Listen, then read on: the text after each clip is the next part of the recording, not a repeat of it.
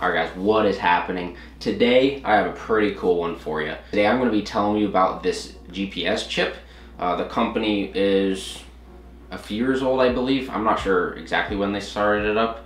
Uh, this chip has really changed the game for fishermen and for everyday boaters it can be useful as well. This chip is one of a kind and it really, in my opinion, blows everything else out of the water. This chip is probably the best on the market right now. There are some things about this chip um, that they can improve on, and I'll talk about that later in the video. So the chip I'm talking about here is Florida Marine Tracks. I actually have it displayed on my Simrad right here, and I'm gonna show you guys close up uh, on the machine um, what it looks like. So basically this chip features high definition satellite images, and they have pre-run tracks that you can run.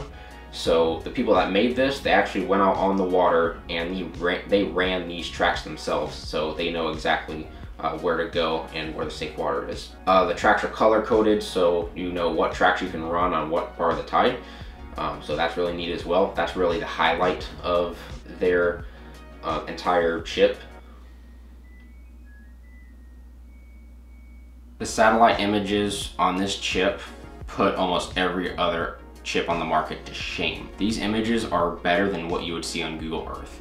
Um, that you could see every little detail you need to know uh, to know exactly where you can run and where you can't. And that's what the tracks are made for, but you can also see um, a lot more detail around the tracks so you can see exactly uh, why those tracks are built that way. No other chart on the market can even touch uh, the Florida Marine tracks in my opinion. Even the high level Navionics and StrikeLine charts, I really don't think there's any competition there.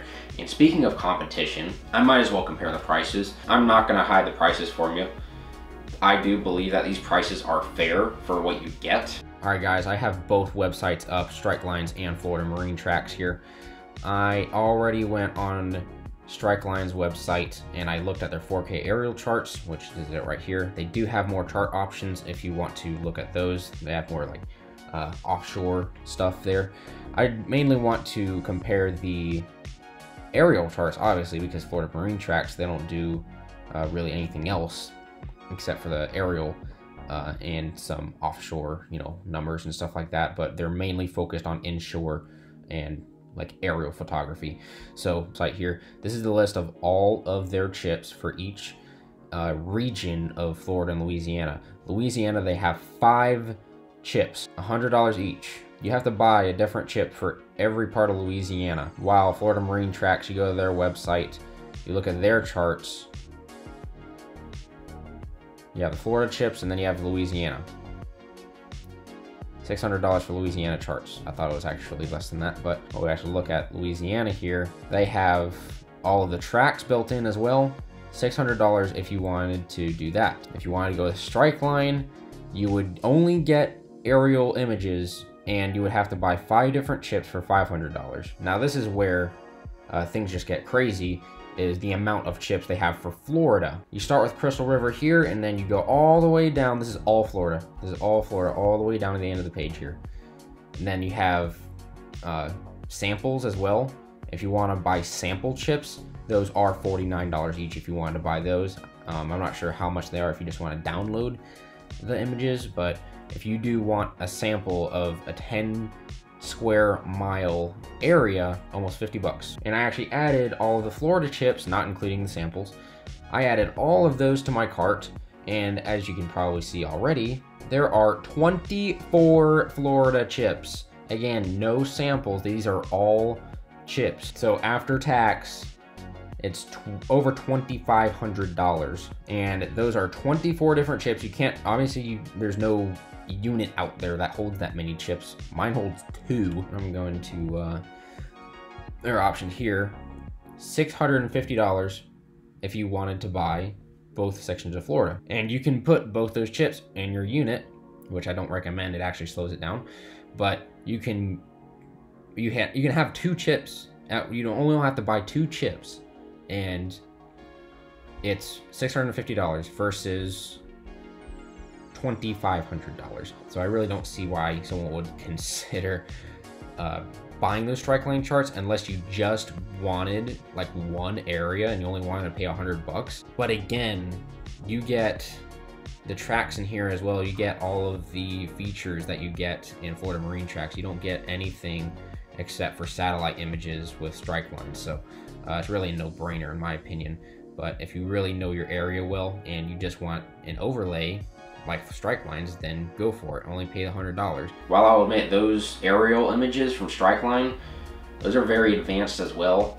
But again, they don't have all the features that you can see in the Florida Marine Tracks.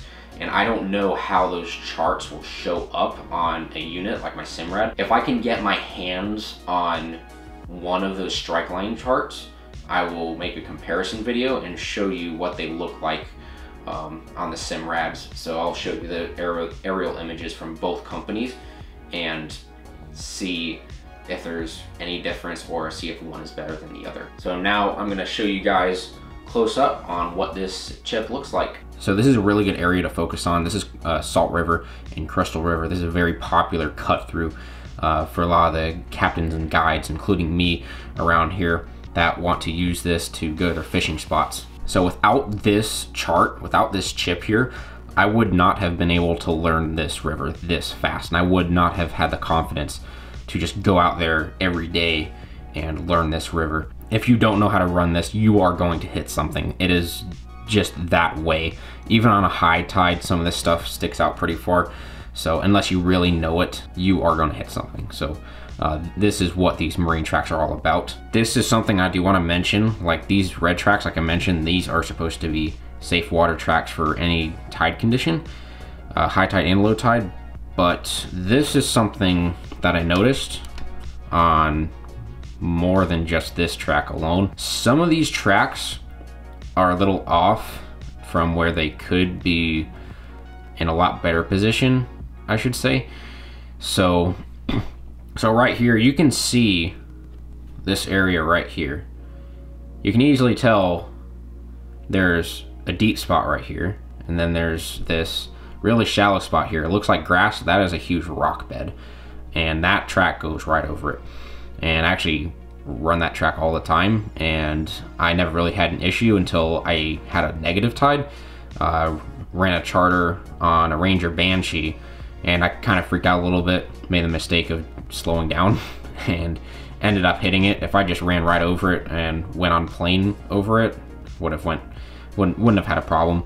But since I slowed down, I actually ended up hitting that. That Ranger Banshee, like I said, that could easily just went right over this oyster bar or rock bar, I should I should say. But the, my point is, there's a deep cut right here that I noticed, and all I did was just start making my own track around uh, this little deep cut here.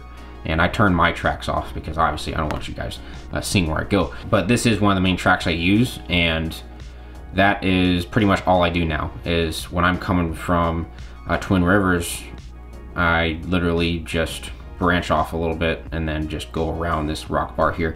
They could have easily spotted that. When they ran these tracks, I don't think they did these on negative tides. They When you run on a negative tide, this sticks out a lot farther uh, than a regular low tide, like in the summertime. In the summertime, you will never hit this rock going on plane.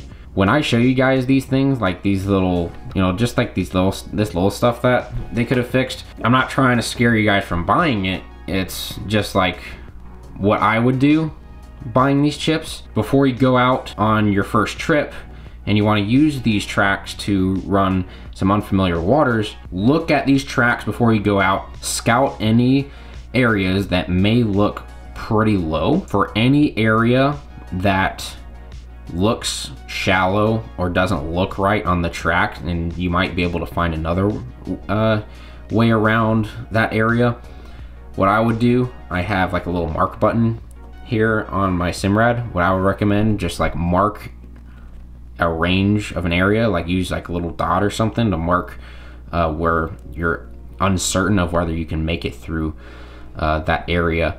And then just take it nice and easy when you get there and when you actually run that track. Like I said, I'm not trying to scare you guys away from buying this. I do not regret buying it. I This cut out probably a decade worth of experience that I would have needed to be able to run through here. And you see all these oyster bars and rocks. There's a lot of limestone around here in Crystal River and Homosassa, uh, especially when you got down to the Chaz area and Yankeetown. Pretty much the entire nature coast has all this kind of stuff. I'm actually going to show you guys Yankeetown because that's worse. Yankeetown here, you got a lot of, uh, again, limestone, oyster bars, rocks, and you'll see the skull and crossbones there. Um, basically telling you don't go there, obviously. And then you have the red track here. That's pretty pretty accurate over here. Uh, and then you get up into these little creeks. This is where you see a lot of your limestone and really hardcore oyster bars around there too.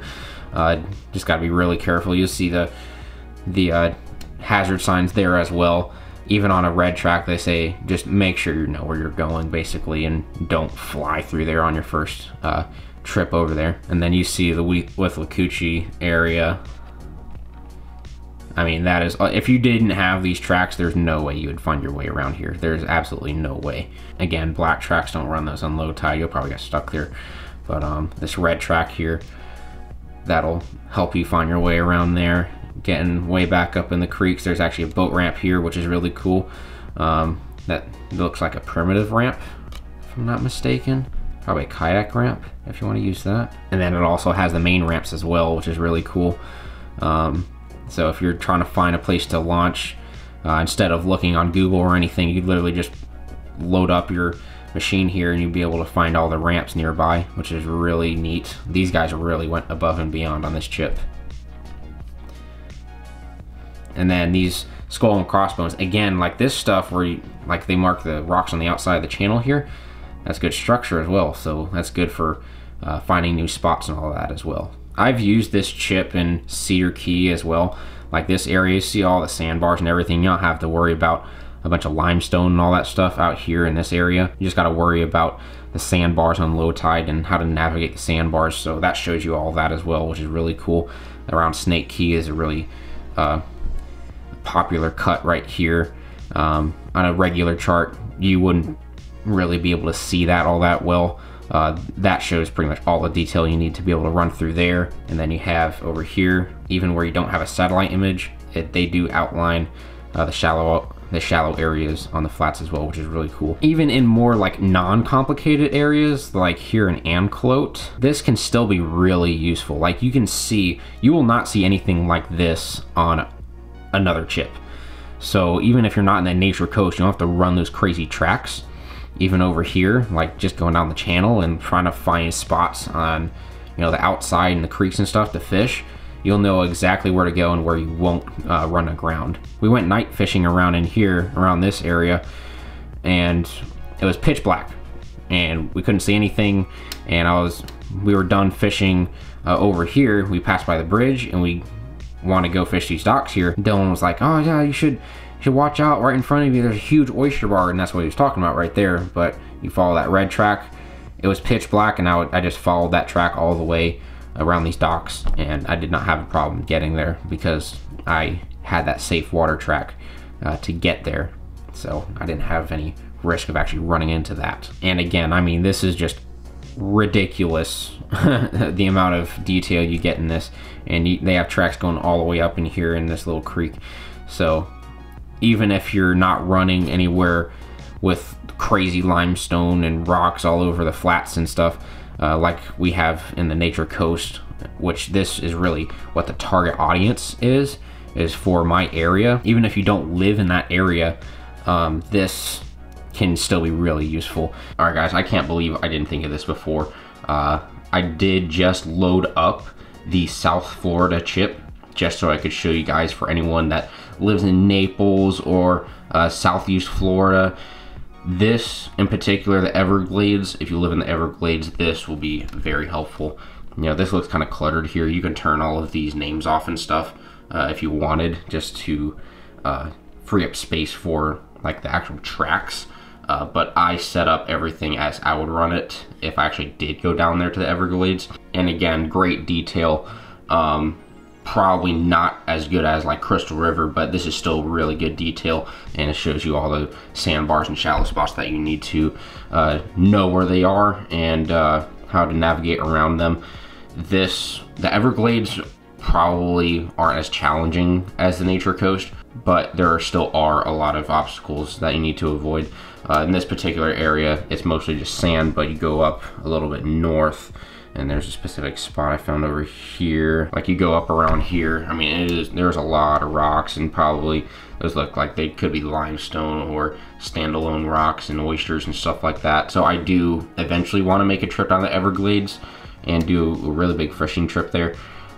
And this would be a, very big help. That way I could know where everything is. And even just finding spots as well, like I mentioned before, literally just scouting uh, before we head out on the trip deciding where we want to go fish. And then for anyone in Southeast Florida, I'll go ahead and do that as well. This is all pretty simple, but there still are a lot of places that you can run aground and all that stuff. This chart shows very good detail and shows you all the tracks to run around that stuff just like everywhere else. I'm actually not going to spend too much time on this area.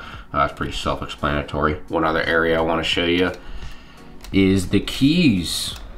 They have tracks all over the keys as well. Tracks running outside the channel. You have the rocks right there. Uh, if you run outside the channel, you know, don't want to hit that. And I could really spend days looking at all these tracks in the keys. I mean, there's so many, but you know, as you can see, it's just just as detailed as everywhere else. It'll really help you find your way around and not hit anything. All right, guys, that's gonna wrap it up. Hope you guys enjoyed the video if you're hardcore inshore saltwater anglers in Louisiana or Florida, um, even they actually have tracks for the lakes in Florida as well. I didn't mention that, even though if you're lake fishing, you probably want to get a different chart. But the target audience, if you're an inshore saltwater fisherman and you want a chart that shows you a crazy amount of detail and wants and you want to go to new areas and explore new areas and you don't know how to run those places, I would highly recommend looking into buying this chip because it is well worth it. So hope you guys enjoyed the video and we'll see you in the next one.